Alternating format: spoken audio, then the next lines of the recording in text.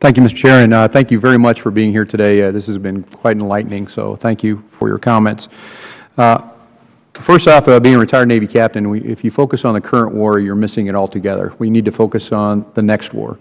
And what we're seeing now is, Mr. Kohlmann, you, uh, uh, cyber jihadists, um, I I truly feel the the previous notion of asymmetric warfare, we've gone way beyond that into something, a new realm, a new, a new difference of what we're actually seeing today. Uh, Ms. Townsend, also, uh, we are at a war without borders, and I very much appreciate your comments regarding the lone wolf. And uh, in, quickly reviewing your background, I'd just like you to comment a little bit on that, because one of the votes we'll be taking very soon is uh, regarding three components within the Patriot Act. I was wondering if you could comment on that, if you believe that these are necessary vehicles to make sure that we can protect Americans in with the United States without uh, uh, jeopardizing any constitutional rights that Ameri- American citizens would have.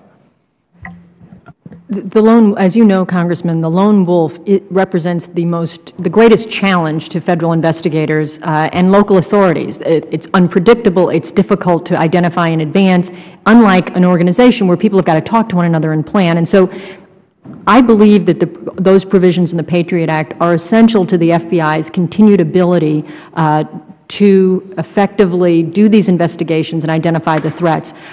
To the extent, I can tell you during my time in the White House when there was the, the initial renewal of the Patriot Act, to the extent there are concerns, there are procedural mechanisms for oversight and reporting uh, that ought to give people the confidence and the courage to, to vote to extend the Patriot Act.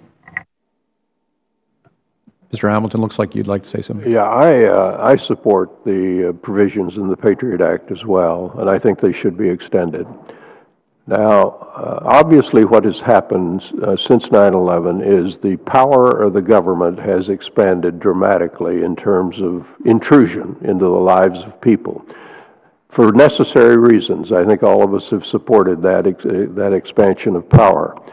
And uh, these provisions, I think, uh, Fran, I'm correct in saying, just kind of bring you up to date in terms of your ability to uh, keep track of these bad guys.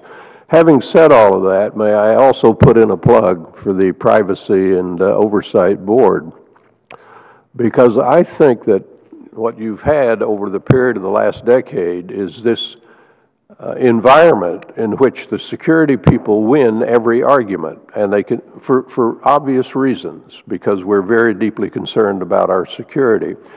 What there is not a sufficient pushback uh, on the side of civil liberties and privacy. That voice needs to be strengthened, I think, within government uh, across the board, and especially with regard to the intelligence agencies. So I want a strong Patriot Act, but I also want a counterbalance to that with a privacy and oversight board, and I want the president to get that thing up and moving. Uh, Thank you, sir. Appreciate it. Uh, Mr. Bergen, uh, in your testimony, you stated that Pakistani Taliban in the tribal regions have, has been successful in attempts to attract Western and American recruits and, and poses a threat to Americans. Uh, Obviously, uh, how much cooperation in the Pakistani ISI are you seeing? And uh, do you think that the relationships can be salvaged moving forward? I mean, I think Representative Hamilton, unsurprisingly, he said one of the wisest things possible about this, which is we have to, we're not going to solve our relationship with Pakistan. We're going to have to manage it. And as a point of information, four ISI buildings have been attacked by the Taliban. So, you know, the ISI has a very complex relationship with the Taliban. Are we getting what we want from them? No. Are we getting, is the Pakistan government doing quite a lot? Yes. Um, serious military operation in southern Waziristan in 09, unlike previous operations. A serious operation in Swat in 09 as well. So the enemy of the perfect is not the reasonably okay.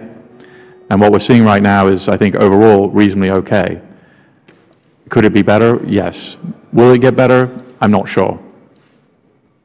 I appreciate your comments and the amount of soldiers that have been killed in action in regards against the uh, Taliban. That was, uh, that was quite telling. Uh, Sir, I have 21 minutes, 21 seconds left, so I'll yield back, sir. I thank the gentleman for his uh, prudence. Uh, That I am uh,